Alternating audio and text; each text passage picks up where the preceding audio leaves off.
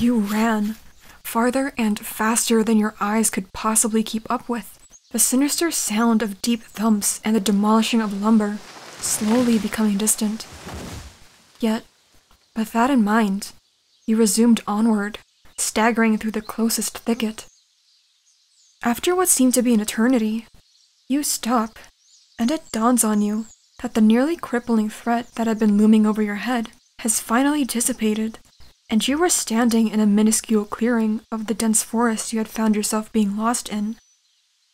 You began to examine your surroundings, taking note of the way the sun shone through the trees above, the sound of Scytherism overtaking your seemingly insignificant being. The pleasurable sensation of the sun reflecting off of the soft, green mosses and the rough bark of the trees. You loved it. However, your state of eudaimonia couldn't last forever, as much as you wished it could, for you were still on the run from what or whoever that was. Your previously untroubled and calm observing rapidly turned into one of panic. You knew that your current state of safety couldn't last for long. With your frantic eyes, you see a cottage. No, a village? In a distance far past the tree line. Were you finally going to leave this forest?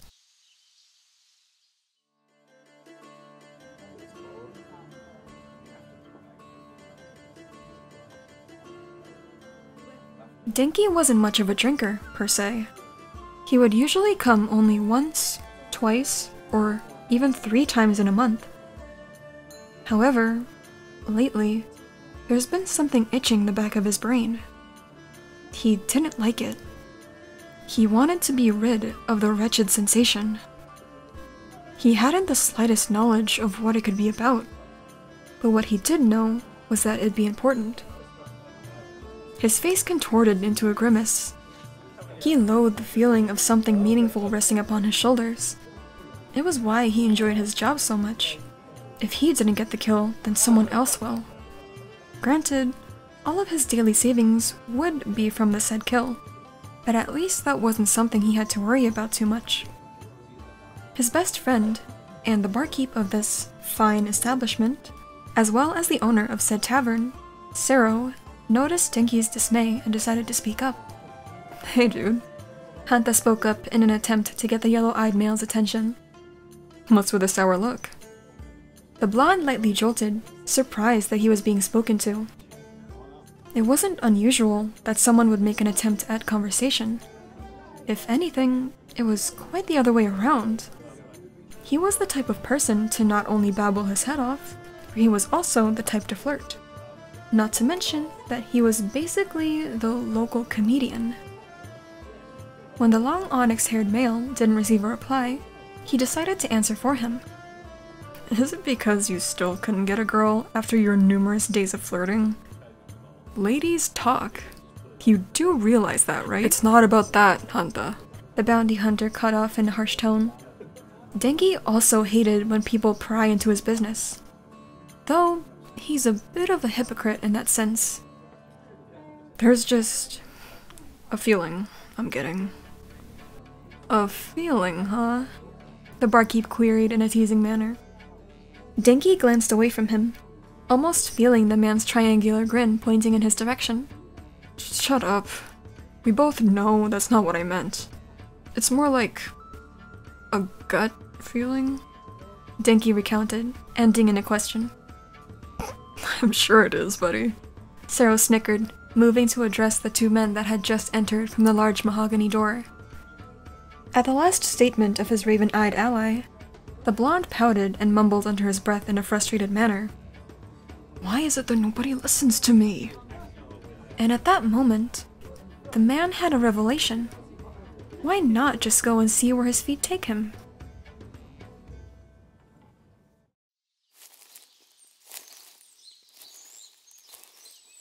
Each step you took made you realize how much agony your body was in. Nevertheless, you continued onward.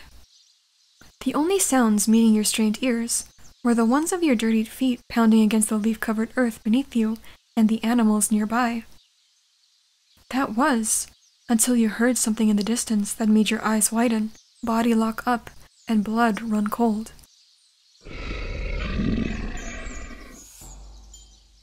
Far behind you, you could hear the thundering sound of the very same beast that had nearly mutilated your frame. Only this time, it was much, much faster. You were paralyzed. You could almost sense its bloodlust, its need to kill. You could feel its breath on your back. Unknowingly, your arms begin to wrap around your waist, and the hairs on the back of your neck begin to stand. The pounding only gets louder as you continue to stand frozen in place. As the distance begins to close and your peripheral begins to blur and darken, your mind has no plans on slowing. Is this it? Is this how I die? Why now? Why like this? Why not peacefully? A nice, quiet, and painless death. That's all I could have asked for. As the beast closes in, and your vision fulfills its fate of eternal darkness.